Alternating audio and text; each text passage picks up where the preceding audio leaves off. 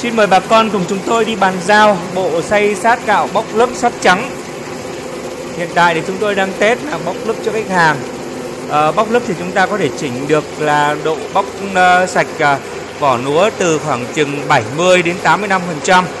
Hiện tại thì chúng tôi đang chỉnh bóc khoảng chừng 80% để uh, tí nữa sắt qua trắng thì nó sẽ có nhiều lượng cám hơn để cho uh, khách hàng họ bán còn nếu mà các bạn uh, sát gia đình hoặc là yêu cầu của khách hàng là cần bóc lớp trắng uh, sạch hơn thì chúng ta có thể chỉnh uh, vào thêm một chút được.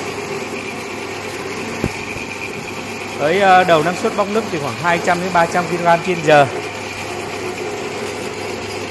Còn đầu sắt trắng thì năng suất từ khoảng 100 đến 200 kg trên giờ. Hiện tại nó đang test chức năng là bóc uh, sắt lức máy sử dụng motor 3 kW tốc nhanh một pha rất là phù hợp với những nơi mà điện yếu hay là những nơi không có điện ba pha.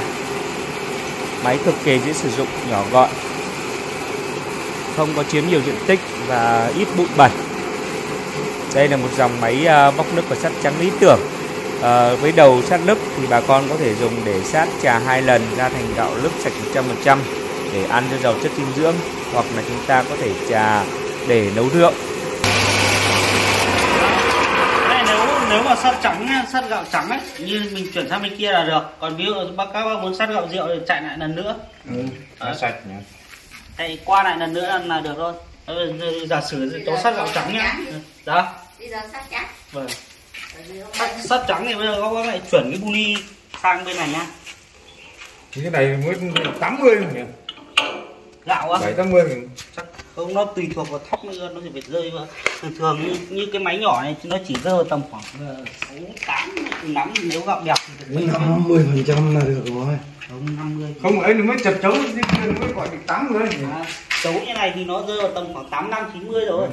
cái đây nhá đây là cháu tại vì sắt trắng ấy cháu không muốn cháu muốn chỉnh cho cái lượng gạo nó nó, nó bị hút ra đây rất là ít thôi. Đây nó cả cái vỏ chấu nữa chứ không phải là nó cả vỏ chấu đấy nó cả vỏ chấu chứ không phải là cái lượng bóc của nó rất khá là nhiều đấy. Ừ, ừ, đúng rồi. À, đúng là cầm vỏ chấu tí nó còn lắm cám. Nó tăng cám nên bay hết chấu gì?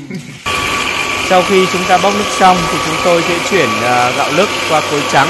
Và bây giờ chúng tôi sẽ dùng đầu trà trắng để sát ta gạo để cho bà con cùng thấy là sản phẩm ra như thế nào.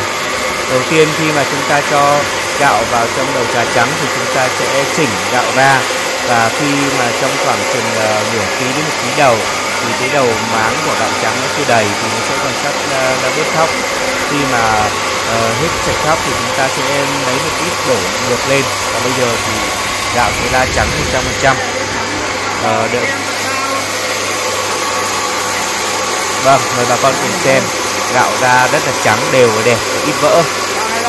À, Gạo ra cực kỳ đẹp. À, Gạo với dòng máy sát mà vừa bóc lức riêng mà chắc chắn riêng này thì gạo ra trắng đẹp và ít vỡ.